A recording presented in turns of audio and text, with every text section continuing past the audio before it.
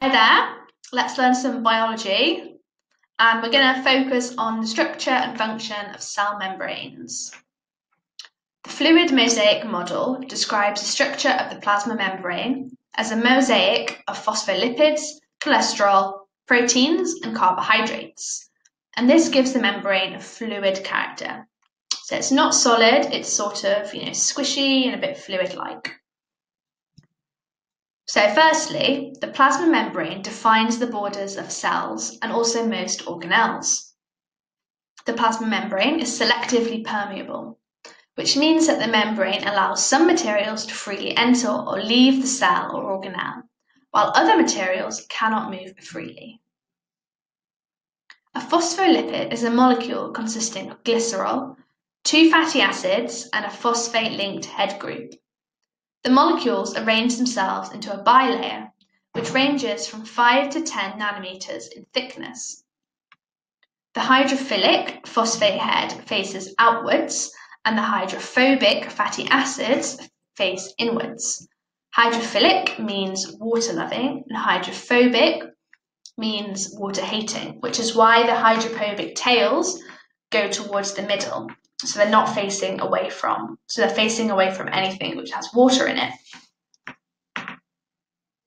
Cholesterol is a lipid that sits with phospholipids in the core of the membrane. But you don't find cholesterol in the cell membranes of bacteria. And cholesterol molecules make the membranes more rigid, which explains why cholesterol helps to maintain the shape of animal cells. The permeability of cell membranes can be influenced by lots of factors. And remember that permeability means how easy it is for substances to pass through something, in this case, a membrane. So, solvent concentration is one of those factors. The more easily the phospholipid bilayer is dissolved, the more permeable the membrane is.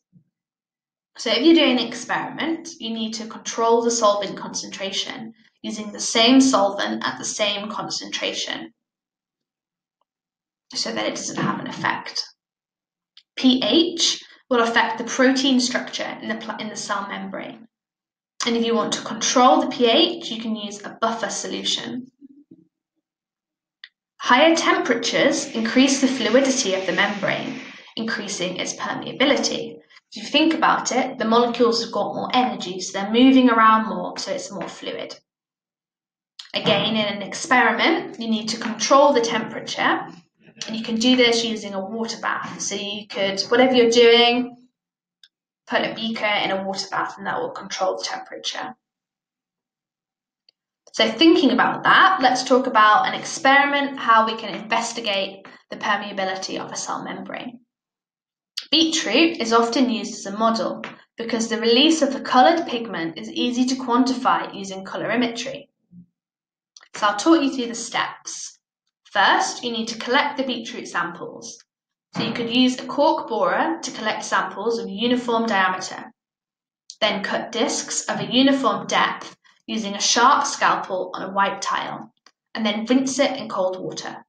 This removes excess pigment that has leaked through the physically broken membranes because you cut some of them. You then add ethanol. So you can prepare at least five concentrations of ethanol, for example, 0%, 10%, 20%, 30%, 40% in different beakers. And then place the discs of beetroot into the corresponding solution for 10 minutes. Make sure the samples are completely covered by ethanol solutions and mixed frequently throughout the 10 minutes. Then remove the discs from the solutions to prevent further changes and to allow a fair comparison between the experiments. Then calibrate the colorimeter using a cuvette or distilled water at an absorbance of about 520 nanometers. The cuvettes must be dry and the clear sides must not be touched to prevent potential errors in the readings. Then we need to measure the absorbance of each solution. So to do this, we can plot the results in a graph with concentration on the x-axis and absorbance on the y-axis. And the darker the solution, the more pigment has been released. and this is reflected in a higher reading for absorbance. So more pigments released, this means that the membrane is more permeable. And that sums up um, the permeability of cell membranes for you and also the structure of cell membranes.